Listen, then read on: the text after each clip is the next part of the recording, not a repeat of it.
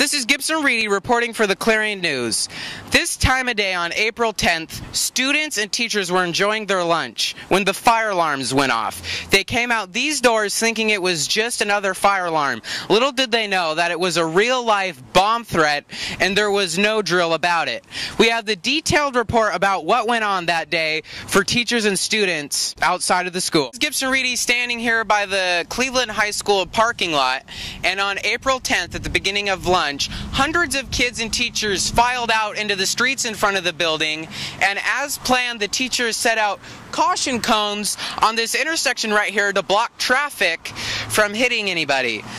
Kids also met up here in front of the school where they were evacuated after the fire alarm went off. Teachers and students thought it was just an ordinary fire drill during lunch, but the real story was that it was a real life bomb threat. Towards the beginning of the lunch, the secretary in the Cleveland High School office received a phone call with a male voice that simply said there is a bomb in the cafeteria. She notified the police and called district headquarters who told her to pull the fire alarm to exit kids as quickly and as efficiently as possible.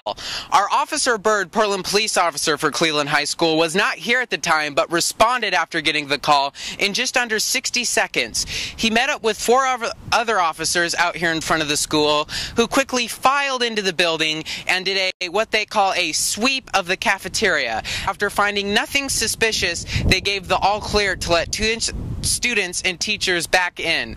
The administration here at Cleveland High School says it went very smoothly and all the practice was worth it. And as you can tell, if you weren't there, it was a very intense several minutes there for students and teachers here at Cleveland High School. But luckily, everything turned out fine, and they say if they ever have to do it again, they are fully prepared and know that they will be able to handle anything that comes their way.